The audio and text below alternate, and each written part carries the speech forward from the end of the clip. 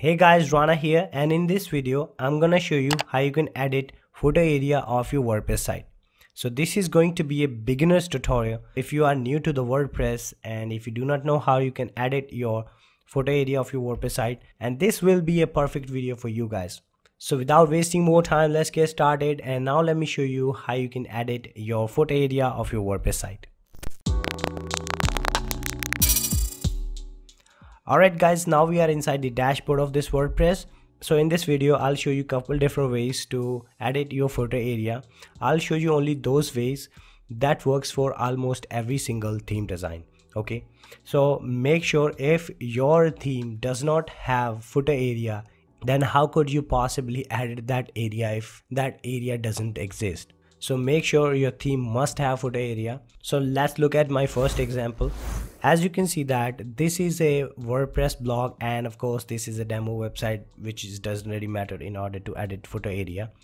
And if you scroll down at the very bottom, so as you can see that this particular theme has only this uh, footer area in order to edit it we can edit only this designed and developed by text or we can edit this one these social icons okay in order to edit this footer area you can click on customize of course. So guys this specific theme does not have footer widgets as you can see that.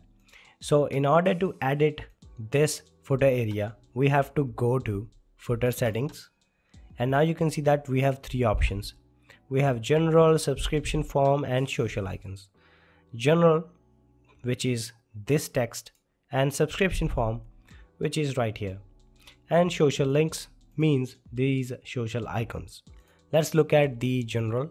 Or uh, here you can see that we have preloaded uh, text over here which kind of code right? In order to edit this you just have to change your text. From here you can type powered by this blog. You can change the blog url from here. Okay you can change the blog title like that. And of course you can add more social links once you're happy with your changes don't forget to click on publish. So guys if your wordpress theme has similar uh, footer area then you can edit your footer area just like this one. And if your theme does not have similar settings then let's look at my another example. So guys this is a another website that we have created on our channel how to create a food ordering website. If you haven't checked that video you can check out that video and make your own food ordering website for your restaurant. Anyways in order to edit this website footer area scroll down at the very bottom. And if you notice that this website homepage built with elementor if you want to edit this footer area you just have to hover your mouse over edit with elementor and then click on footer. It will open the elementor page builder and we have this footer area. So from here we can edit this footer area by simple drag and drop feature okay? If you want to edit this copyright area you just click on that area. Here you can change any text you want in order to edit this copyright area right? Or you can add anything like that. You can add any text. You can highlight the text or you can change this text. You can type how to edit footer in wordpress and highlight that bold it make it italic and that's it. And let's go to style and alignment would be center. Once you're happy with your changes don't forget to click on update.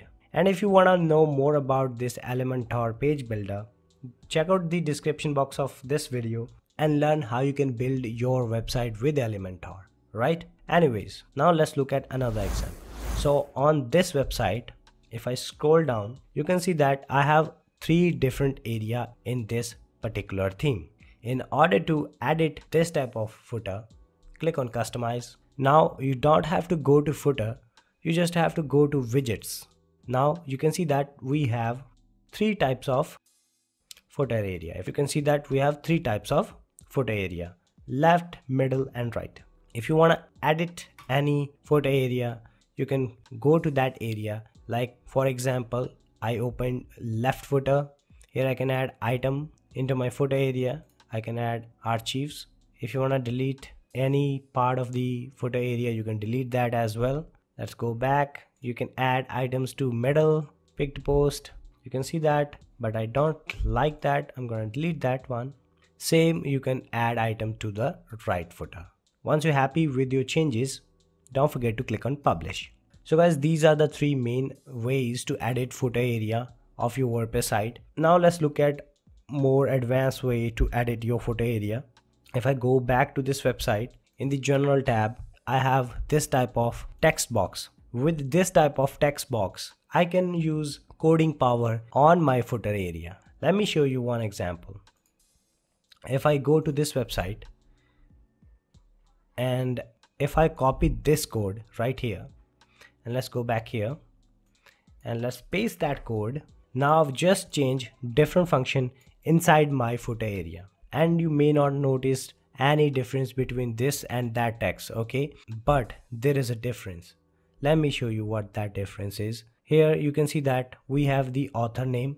You can change the author name from here. You can type author name. I'm going to type mine. Here you can type your own email address right? Let me expand that area. So here i'm going to change the email title. I'm going to type over here send me your email here okay? By doing so i've changed completely everything over here let me show you what is the difference. And now i'm gonna click on publish and i'm gonna close this one. And now scroll down. So if someone click on this highlighted text what's going to happen? It will open the email box. So this way people can contact me using this function. So guys by using these types of code you can add different types of functionality on your footer area without any plugin and if you are wondering where we can find that code well you can go to w3school.com and here you can find different types of code for your footer area. And of course you can go to this website mdbootstrap.com here you can find different types of uh, footer design with codes and you can simply use those codes and you can add different types of footer design on your footer area without any plugin right? Which is pretty cool. I'll provide you a link of these website in the description box of this video so that you can open up these website by going to that link. So now let's say if your website does not have this type of text box in footer area then how could you possibly add these types of code in your footer area in order to add more functions on your footer area? Well it is pretty simple.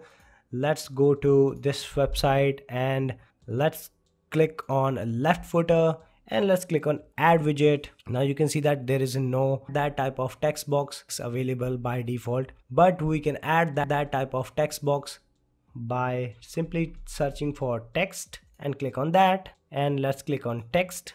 Here we can paste that exact code. Let's copy that code. Copy and paste that code. And voila we are good to go so guys by simply adding that code we just add another function on our website once you're happy with your changes don't forget to click on publish Alright guys, that's the pretty much it guys. I hope you learned something from today's video. If you really did, don't forget to hit the like button and don't forget to subscribe to the channel for more videos just like this one. So that being said, goodbye and I'll catch you guys next time.